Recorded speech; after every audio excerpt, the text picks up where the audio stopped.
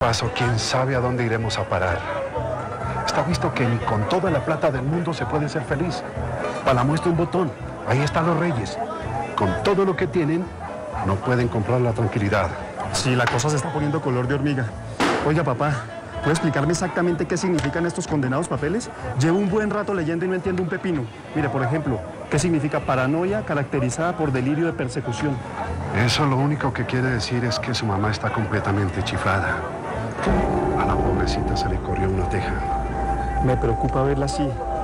Es que fíjese, papá, la pobre viejita parece un zombie. Y lo que no entiendo es qué hace aquí en la plaza en ese estado, porque no está en la casa reposando. Por mí fuera la dejaría ya encerrada. Pero no me atrevo a dejarla íngrima sola. Porque me da miedo que cometa cualquier disparate. No sé. Pero si la dejamos más tiempo así, puede empeorar. Yo no estoy de acuerdo con lo que usted está haciendo, papá. Entonces, ¿qué? ¿La metemos en un manicomio? A mí eso me da mucho pesar. Prefiero mil veces mantenerla aquí conmigo. ¡Qué lío! Y para colmo de males, no tengo mucho tiempo para llevarla a un médico a ver qué nos aconseja. Porque solo pedí unas horas para venir a ver a la viejita. Y ya tengo que regresar donde los reyes. Oiga, hijo, yo creo que los reyes deberían darle una ayudita a la pobre Hortensia. ¿Y por qué? ¿Ellos no tienen velas en este entierro? Claro que sí.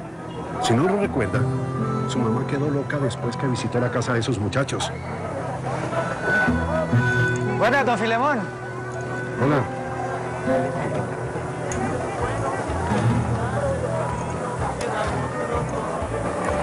No se preocupe, viejito. Ya tengo que irme, pero todo va a salir bien.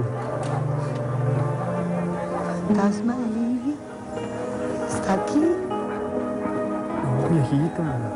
Fíjese bien que no hay nadie aquí. Sí, ella está aquí. ¡Allá está! ¡Allá está!